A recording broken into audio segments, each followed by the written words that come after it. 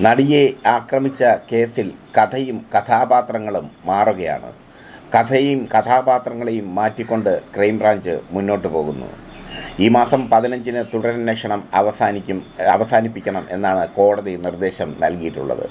പക്ഷേ തുടരന്വേഷണം അവസാനിപ്പിക്കാൻ ക്രൈംബ്രാഞ്ച് തയ്യാറല്ല. ഇത്രയും ചുരുങ്ങിയ സമയത്തിനുള്ളിൽ തുടരന്വേഷണം തീരില്ല. കാരണം ഡിജി ഡിജിറ്റൽ തെളിവുകൾ ഒരുപാടുണ്ട് പരിശോധിക്കാൻ. സാക്ഷിമൊഴികൾ ഒരുപാടുണ്ട് പരിശോധിക്കാൻ. പ്രതിയാക്കേണ്ട പ്രതിയാക്കേണ്ടവരുടെ ലിസ്റ്റുകളും ക്രൈംബ്രാഞ്ചിന്റെ കയ്യിലുണ്ട്. ഇവരെയൊക്കെ ചോദ്യം ചെയ്ത ശേഷം പ്രതികളാക്കേണ്ടി വരും. ഇതുവരെ തുടരന്വേഷണത്തിൽ ക്രൈംബ്രാഞ്ചിന് പറ്റിയ വലിയൊരു വീഴ്ച എന്ന് പറയുന്നത് ഒരൊറ്റ ആളെ മാത്രമേ പ്രതിയാക്കാൻ സാധിച്ചുള്ളൂ. ബി ഐ പി ശരത്തിനെ. വി ഐ പി ശരത്തിനെ പ്രതിയാക്കുമ്പോഴും അയാൾക്കെതിരെ നിസ്സാരമായ കുറ്റമാണ് ചുമത്തിയിരിക്കുന്നത്. ദിലീപിന്റെ അടുത്ത ബന്ധുക്കളെ പ്രതിചേർക്കും എന്നത് ഉറപ്പാണ്. അതിനൊക്കെ തെളിവുകൾ വേണം. അതിനുള്ള ഡിജിറ്റൽ തെളിവുകൾ ശേഖരിക്കുകയാണ് ക്രൈംബ്രാഞ്ച്. ദിലീപിന്റെ പെങ്ങൾ സബിതയുടെ വരെ ശബ്ദ സാമ്പിൾ ക്രൈംബ്രാഞ്ച് എടുത്തു കഴിഞ്ഞു. എല്ലാം വളരെ രഹസ്യമായി മുന്നോട്ട് കൊണ്ടുപോകാനാണ് ക്രൈംബ്രാഞ്ചിന്റെ തീരുമാനം. പുതിയ മേധാവി അതാണ് പറഞ്ഞിരിക്കുന്നത്. പുറത്തറിയരുത് മാധ്യമങ്ങൾ അറിയരുത്. പക്ഷെ മാധ്യമങ്ങൾ അറിയുന്നു. എല്ലാം എല്ലാം ഞങ്ങൾ അറിഞ്ഞുകൊണ്ടിരിക്കുന്നു. എന്തായാലും ക്രൈംബ്രാഞ്ചിനെ സംബന്ധിച്ചിടത്തോളം ഈ പറയുന്ന ദിവസത്തിനുള്ളിൽ ഇനിയിപ്പോൾ ആഴ്ചകൾ മാത്രമേ ഉള്ളൂ. ഈ ആഴ്ചകൾക്കുള്ളിൽ ഒന്നും ചെയ്യാൻ പറ്റില്ല. തുടരന്വേഷണത്തിന്റെ ഒരു ഘട്ടത്തിലും എത്താൻ പറ്റില്ല. അതിലെ ഏറ്റവും വലിയ വിജയം ക്രൈംബ്രാഞ്ച് നേടി എന്നത് ഹൈക്കോടതിയുടെ പുതിയ വിധിയാണ്. മെമ്മറി കാർഡ് പരിശോധിക്കാനുള്ള അനുവാദം ക്രൈംബ്രാഞ്ചിന് ലഭിച്ചു. വിചാരണ കോടതി തള്ളിയ സംഭവമാണ്. വിചാരണ കോടതി ചോദിച്ചത് മെമ്മറി കാർഡ് എന്തിന് പരിശോധിക്കണം എന്നാണ്. പക്ഷേ ക്രൈംബ്രാഞ്ച് കൃത്യമായി വിചാരണ കോടതിയുടെ വിധിയെ മറികടന്നുകൊണ്ട് മേൽക്കോടതിയെ സമീപിക്കുകയും മെമ്മറി കാർഡ് പരിശോധിക്കാനുള്ള അനുവാദം നേടിയെടുക്കുകയും ചെയ്തു. ഇതാണ് ദിലീപിനെ സംബന്ധിച്ചിടത്തോളം വലിയ തിരിച്ചടിയായി മാറാൻ പോകുന്നത്. മെമ്മറി കാർഡ് ലാബിലയച്ച് തിരുവനന്തപുരത്തെ ഫോറൻസിക് ലാബിലയച്ച് പരിശോധിക്കും പോലീസ് ക്രൈംബ്രാഞ്ച്. പരിശോധിക്കുകയാണ് ക്രൈംബ്രാഞ്ച്.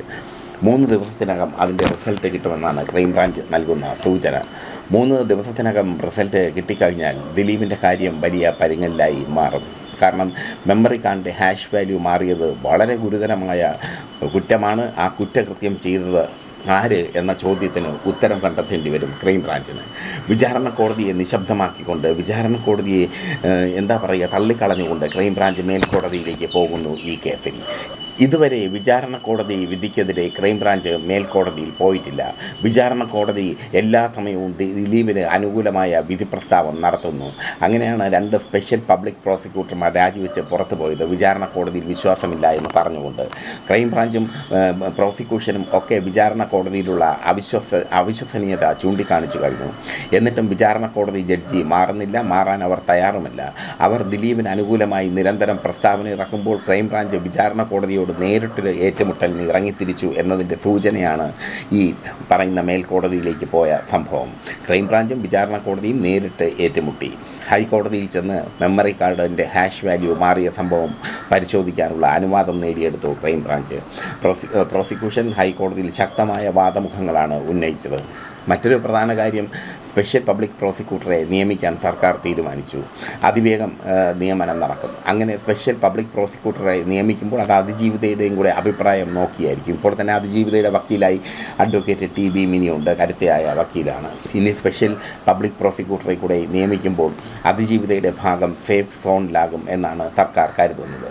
എന്തായാലും ഈ കേസിന്റെ ഇപ്പോഴത്തെ അവസ്ഥ വിചാരണ കോടതിയും ക്രൈംബ്രാഞ്ചും തമ്മിലുള്ള ഏറ്റുമുട്ടലാണ്. മുഖാമുഖമുള്ള ഏറ്റുമുട്ടൽ.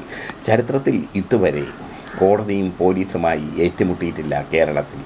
വലിയ വലിയ ബിസിന എന്താ പറയുക മഹാരാഷ്ട്ര പോലെയുള്ള നഗരങ്ങളിലൊക്കെ അങ്ങനെ സംഭവിക്കാം. പക്ഷേ ഇത് കേരളം പോലെയുള്ള ഒരു സ്ഥലത്ത് കോടതിക്ക് ഒരു വിശുദ്ധി ഒരു വിശുദ്ധി മാത്രമല്ല ഒരു സംശുദ്ധി കൽപ്പിക്കുന്നുണ്ട് ജനങ്ങൾ.